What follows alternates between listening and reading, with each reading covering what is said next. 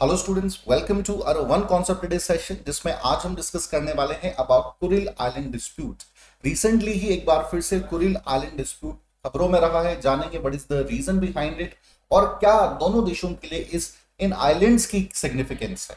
शुरू करते हैं आज का सेशन अभी रिसेंटली ही जापान ने अपनी डिप्लोमेटिक ब्लू बुक जो कि आपकी एयरली उनकी फॉरेन पॉलिसी की रिपोर्ट को प्रेजेंट करती है, उसमें एक बार फिर से ये जो आपका कुरिल आइलैंड का इशू है, इसे हाईलाइट किया है और चार कुरिल आइलैंड के जो मेन आपके आइलैंड्स हैं, उन पर अपना अधिकार भी ज़ाहिर किया है। साथ ही साथ जो इलीगली आपका ऑक्युपाइड किया है, रशिया ने पूरे कुरिल आइलैंड्स को, उसका विरोध भी किया है, ठीक है? तो एक बार फिर से ये चर्चा में रहा। अब सबसे पहले हम लोकेशन देखेंगे कि भाई लोकेशन कहाँ है कुरिल आइलैंड्स की। So through this map you can see that कि जो आपका इंडो पैसिफिक रीजन है रशिया और बेसिकली जापान के बीच का एरिया है, और ये जो कुरिल आइलैंड है, ये सभी पूरा जो क्षेत्र है students it is called the Kuril island region alright अब it separate sea of Oxford and north north Pacific ocean अगर मैं बात करूँ इसकी स्ट्रेटेजिक सिग्निफिकेंस की तो आप देख सकते हैं इंडो पैसिफिक रीजन में इसका एक महत्वपूर्ण स्थान है। और इसीलिए रशिया जो है इस पूरे रीजन पर अपना अधिकार, अपना कंट्रोल रखना चाहता है। नाउ अगर मैं बात करूँ कि भाई जो आपका रशिया है, उनका कौन, पूरे किस क्षेत्र तक अधिकार है, क्या उनकी डिमांड है तो रशिया का कहना है Kuril island completely belongs to Russia फिर जापान डिमांड्स ओनली फोर ये जो चार आपके आइलैंड है यहाँ के, इन्हीं पर जो है जापान अपना डिमांड रखता है, कहता है कि भाई these four Kuril islands belong to Japan not the entire Kuril island region यहाँ पर जो है, अभी पिछले कुछ समय में, खबरों में एक बार फिर से रहा था। अभी ग्लोबली हमने देखा रशिया और यूक्रेन वॉर की वजह से रशिया न्यूज़ में रहा है। और पिछले कुछ एक दो साल में ही हमने देखा, ये कम चटका जो प्रोविंस है, यहाँ पर मिसाइल्स को डिप्लॉय किया है रशिया ने। ठीक है? नाउ एक और मैं बात क्लियर कर दू। रिसेंटली अगर हम देखेंगे तो कोई डायरेक्ट डिस्प्यूट नहीं है जापान के साथ रशिया का एक्सेप्ट दीज पुराने ये जो डिस्प्यूट है आइलैंड से रिलेटेड कोई डायरेक्ट ऐसा कोई फ्रंट नहीं है जहाँ जापान के साथ उलझा हुआ है। अब सवाल यहाँ पे उठता है कि भाई फिर क्यों रशिया जो है अपनी मिसाइल्स यहाँ पे सेट किए हुए इसका आंसर भी मैं फर्दर स्लाइड्स में आपको दे दूँगा। ठीक है तो I hope you got an idea क्या डिमांड्स हैं और क्या बेसिकली जो है एस्पिरेशन है पूरे रीजन में दोनों ही देशों की। अब जरा बैकग्राउंड पे आएँगे। बैकग्राउंड क्या है और क्या क्या डिमांड्स हैं? तो the Kuril island dispute between Japan and Russia जो है ये sovereignty of south Kuril island से रिलेटेड है। जैसा मैंने कहा कि जापान की जो मांग है, वो पूरे कुरिल आइलैंड्स पे कभी भी नहीं थी। They just demanded four four ये जो पुनाशीर इतुरूप सिखोन हम्बोई ये चार जो आइलैंड है कुरिल आइलैंड्स के, ठीक है? इन पर ये अधिकार मानते हैं। कल्चरली यहाँ के जो होकाइडो प्रोविंस है जापान का, यहाँ के लोग जो हैं कल्चरली इस पूरे रीजन से जुड़े हुए हैं, ठीक है? तो पूरे कुरिल आइलैंड का डिस्प्यूट नहीं है जो सर्दन जो कुरिल आइलैंड है, उसी का डिस्प्यूट है। नाउ ये मामला है, जबकि दूसरी तरफ़ मैंने जैसा कहा, रशिया जो है पूरा ही क्लेम करता है। अब थोड़ा सा और हम थोड़ा हिस्टोरिकली समझेंगे कि भाई कैसे, क्या इतिहास इस कुरिल आइलैंड का रहा है, क्यों डिस्प्यूटेबल है, क्या सिग्निफिकेंस है फर्दर उसे भी समझेंगे। तो अब देखिए, जैसा मैंने कहा कि होकाइडो प्रोविंस आप देख पा रहे हो, ठीक है? यहाँ के लोग थोड़े कंजर्वेटिव हैं और अपने कस्टम्स को ट्रेडिशंस को अपनी ज़मीन के साथ ज़्यादा जुड़े हुए हैं, ठीक है? कमर्शियल बहुत ज़्यादा नहीं है। तो यहाँ के जो आइलैंड हैं, इनके साथ कल्चरली एसोसिएशन बहुत पुराने समय से। और इसीलिए ही सिर्फ़ चार रीजन पर ही प्राइमरली अपना जो है अधिकार, अपनी मांग जो है ये जापान ने रखी हुई है। नाउ डिस्प्यूट की बात करते हैं। एग्जिस्टेंस तो पुराना है ही बट डिस्प्यूट कहाँ से होता है? देखिए डिस्प्यूट होता है सबसे पहले 1855 की ट्रीटी ऑफ़ शिम्बोडा के तहत।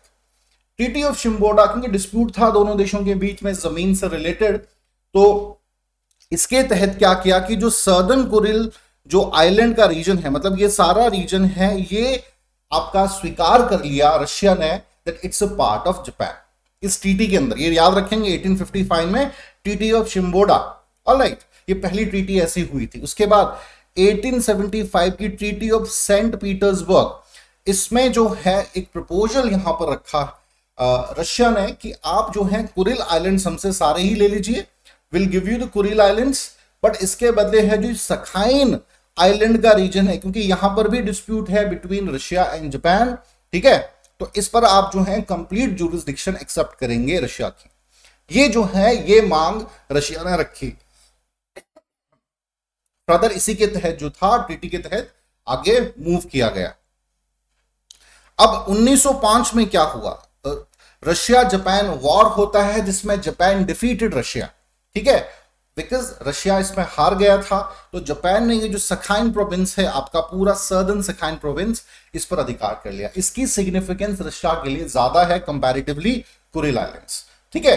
तो कहीं ना कहीं यहाँ पर ब्रीच भी माना गया रशिया की तरफ़ से that it's break of the treaty of जो पहले साइन की गई थी ट्रीटी ऑफ़ सेंट पीटर्सबर्ग तो यहाँ से डिस्प्यूट होता है। And then further Russia start growing in 1945 तो सोवियत यूनियन ने कंप्लीटली जो आपका कुरिल चेन है एंड सर्दन सखाइन प्रोविंस है, इस पर अपना अधिकार कर लिया। अगर मैप में समझाऊं, ये सखाइन प्रोविंस है, इसको भी अपने कब्जे में ले लिया और अंटायर कुरिल आइलैंड ठीक है? मतलब ये जो चार हैं आपके प्रोविंस इस पर भी अपना अधिकार कर लिया। नाउ इसका अब विरोध जापान करता है। और अलाइड पार्स के साथ ट्रीटी ऑफ़ सैन फ्रांसिस्को भी साइन करता है। ठीक है? कि जिसके तहत जो कुरिल आइलैंड्स हैं, वो किसे दिए जाएँगे? अगर युद्ध में जीत होती है तो किसे जापान को ये मिल जाएँगे। बट ऐसा हुआ नहीं कुछ भी तो फाइनली इसका कोई रेलेवेंस रह नहीं गया। तो आई होप स्टूडेंट नाउ अच्छे से आप समझ पाए हो कि कुरिल आइलैंड की एक हिस्ट्री क्या रही है। ठीक है? So allegedly we can say that अब इस पूरे रीजन पर अधिकार जो है, वो रशिया का है। जबकि जापान का कहना है this four island belongs to देखिए, होता यही है ना जोग्राफिकली जो रीजन आपसे जुड़ा होगा, वो कल्चरली भी जुड़ा होगा। जैसे भारत में कच्चा थी आइलैंड का विषय है, जो भारत ने गिफ्ट किया था आपके श्रीलंका को, लेकिन बाद में जो तमिल वहाँ के लोग हैं, वो कल्चरली एसोसिएटेड रहे हैं from past so many years ठीक है? तो उनके सेंटिमेंट्स वहाँ पर आहत होते हैं। तो ये चीज़ें यहाँ पर भी है होकाडू प्रोविंस जुड़ा हुआ है। ठीक है? किससे? इस पूरे चार रीजन से। कौन कौन से हैं? इतुरुप, कुनाशिर, सिक्तौन एंड हमवाई आइलैंड तो ये याद रखेंगे स्टूडेंट्स चलिए। Now talk about the significance of this region क्या सिग्निफिकेंस है इस पूरे रीजन की? सबसे पहले हम बात करेंगे natural resources natural resources point of view से देखें तो इस पूरे रीजन की सिग्निफिकेंस बहुत ज़्यादा है। एक इंपॉर्टेंट फिशिंग पॉइंट है, ठीक है? फिशिंग रिसोर्स का एक इंपॉर्टेंट पॉइंट है। फिशरीज के लिए बहुत ज़्यादा यहाँ पे फ़ायदेमंद है, ठीक है? तो ये कह सकते हैं natural resources point of view से। इसके अलावा ऑयल एंड नेचुरल गैसेस के ऑयल एंड नेचुरल गैसेस के रिज़र्व भी यहाँ पर बहुत ज़्यादा है। तो दोनों ही देश ये भी कारण है कि चाहते हैं that this whole Kuril island belongs to ठीक है? Not the whole the southern Kuril island belongs to Japan ठीक है? This is what Japan says and Russia भी चाहेगा कि पूरा अधिकार उनका इस पूरे रीजन में रहे।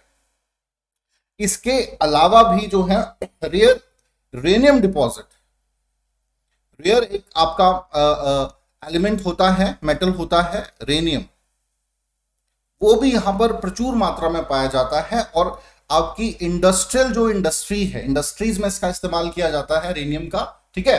तो ये भी यहाँ पर बहुत ज़्यादा पाया जाता है इसकी वजह से भी डिमांड मतलब दोनों ही देश चाहते हैं कि अधिकार रहे। ना स्ट्रेटेजिक इंपॉर्टेंस पे आए सो so, रशिया के लिए इस पूरे रीजन की स्ट्रेटेजिक इंपॉर्टेंस बहुत अधिक है। अगर मैं आपको इस मैप के माध्यम से समझाऊं तो बेटर आप समझ पाएँगे।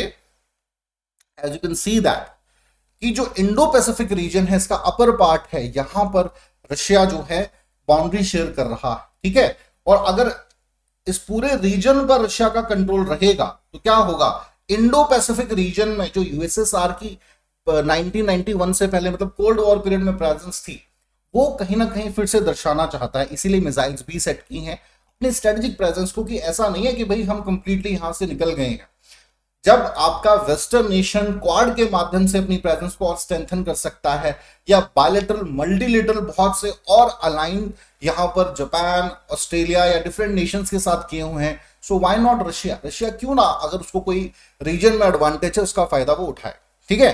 तो रशिया के लिए स्ट्रेटेजिक इसकी सिग्निफिकेंस बहुत है। दूसरी तरफ़ अगर मैं बात करूँ, भाई इसकी स्ट्रेटेजिक सिग्निफिकेंस हम देखें जापान के लिए भी है, ठीक है? एक इंपॉर्टेंट ये सी रूट है, यहाँ से ट्रेड किया जा सकता है मैंने कहा इंपॉर्टेंट फिशिंग पॉइंट है तो ट्रेड पॉइंट ऑफ़ व्यू से भी देखेंगे टूरिज़्म पॉइंट ऑफ़ व्यू से भी देखेंगे, यहाँ पे बहुत से हॉट स्प्रिंग्स हैं नेचुरली ब्लेस रीजन है ये तो टूरिज़्म पॉइंट ऑफ़ व्यू से भी सिग्निफिकेंस बहुत ज़्यादा बढ़ जाता है।